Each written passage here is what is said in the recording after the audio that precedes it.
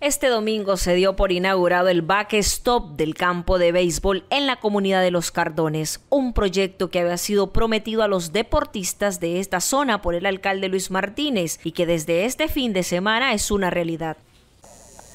Estamos aquí dándole las gracias a nuestro Señor, que siempre nos da las bendiciones, siempre nos da los frutos y siempre lo tenemos en nuestra mente todos nosotros los cristianos, católicos y evangélicos.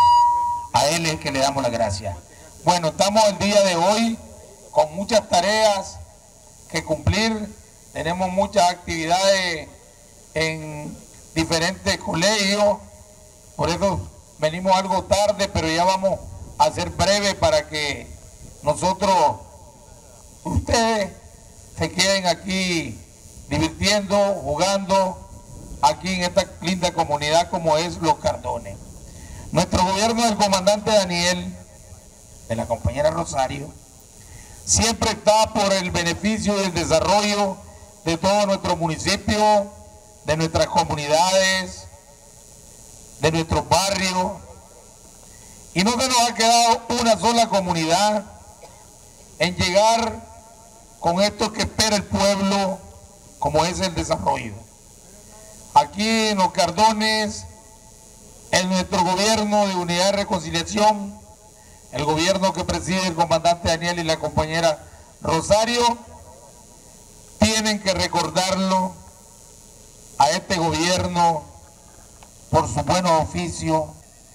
Que teníamos este proyecto, pues la tenemos una vez más. Este era el compañero Luis en este campo que el campo lleva el nombre de él, que se llama Luis Martínez Medal, el día de hoy. Es un compañero que él ha venido apoyando a esta comunidad con los diferentes proyectos que ha impulsado el comandante Daniel Ortega y la compañera Rosario Murillo, y él ha venido ejecutando todos estos proyectos que han sido beneficios para la comunidad, desarrollando así bien más las obras sociales que el Frente Sandinista de Liberación Nacional los, regresa a nosotros.